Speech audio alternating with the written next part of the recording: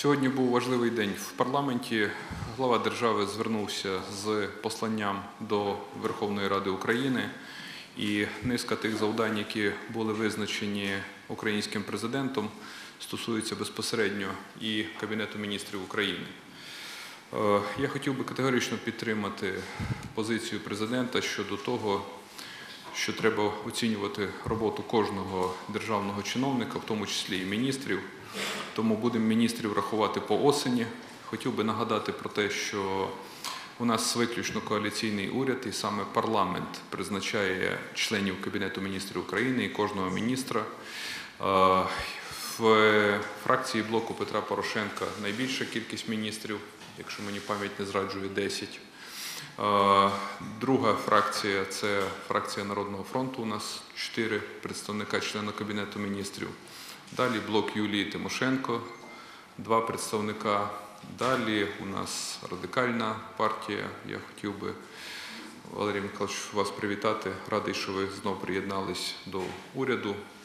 Також фракція Самопоміч має своє представництво. Саме тому на цьому тижні я розпочав проведення колегій у всіх міністерствах і хочу привітати міністрів з тим, що протягом найближчих трьох тижнів я проїдусь по всім міністерствам з тим, щоб провести колегії, е, щоб виставити остаточні завдання, які повинні бути зреалізовані до вересня місяця.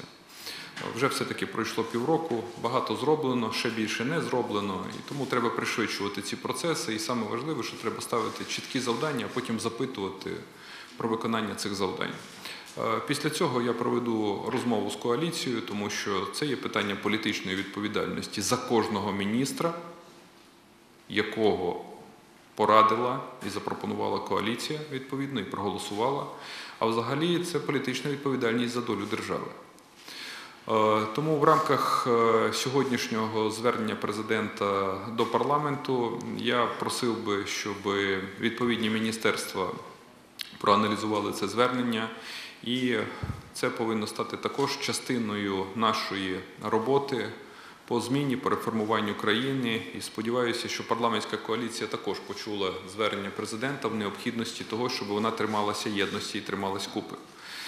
Е, Зараз вісім законів, які необхідно прийняти для того, щоб завершити виконання програми фінансової економічної стабілізації, підписаної між Україною та Світовим банком та Україною і Міжнародним валютним фондом. На жаль, вже вкотре ці закони не голосуються. І зараз я поїду до парламенту для того, щоб намагатись переконати членів парламента е, не просто в спільній відповідальності, а в необхідності прийняття законів, е, які спрямовані на таке чудове слово, воно називається реформи. Оце називаються реформи. Коли натискати кнопку і голосувати за закони, які підготовлені урядом разом з світовою фінансовою і експертною спільнотою. І це ті закони, які необхідні сьогодні для того, щоб країна поступом йшла вперед крок за кроком.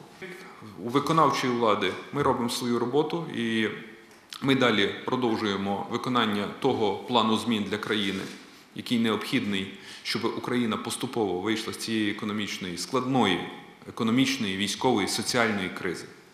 А політичне завдання це єдність всього демократичного табору, це єдність між урядом, президентом і парламентською коаліцією